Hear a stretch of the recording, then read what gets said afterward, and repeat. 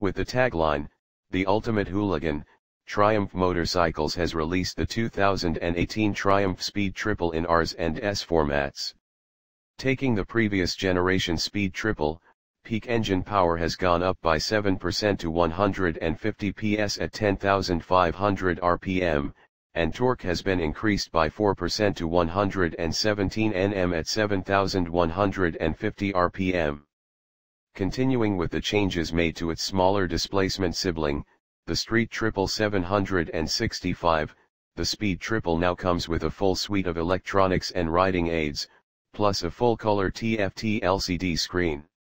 Using ride-by-wire, the Street Triple comes with 5 riding modes, traction control, switchable ABS, and the user has a choice of 3 display themes for the S, and 6 in the Rs.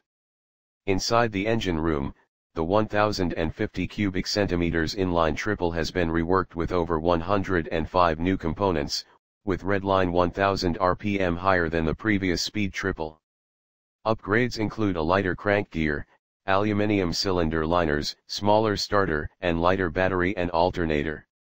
The gearbox and slip assist clutch have also been reworked to improve riding comfort and for the Rs version, Arrow silencers are standard fitment.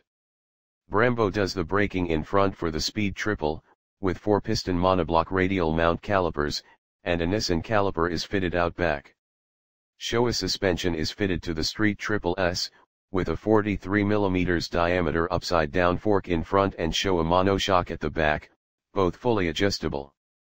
For the Rs, it comes standard with an Öhlins NIX30 fork in front, and a TTX36 twin-tube monoshock at the back, fully adjustable, naturally.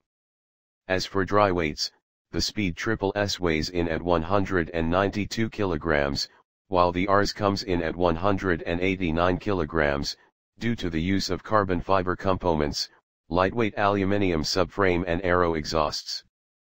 Fuel is carried in a 15.5 liter tank and seat height for both the S and R speed triples is 825 mm. The 2018 Triumph Speed Triple comes in two color options, with bellypan and Kir-Elise pillion seat cowl.